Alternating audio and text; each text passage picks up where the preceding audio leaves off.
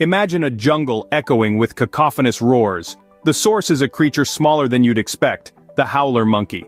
Native to Costa Rica, these primates are the loudest animals on the planet. Their calls, heard up to three miles away, are a prime example of nature's paradoxical beauty. Terrifying yet fascinating. Notorious early risers, howler monkeys announce the dawn, an organic alarm clock if you will. Despite their dramatic vocals, they're quite languid, spending 80% of their day resting. These monkeys are vegetarians, indulging in a diet of leaves, fruits, and flowers. Their color varies from black to red-brown, with males generally darker than females.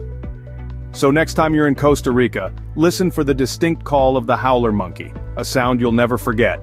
Nature's raw power, encapsulated in a small creature with a mighty voice.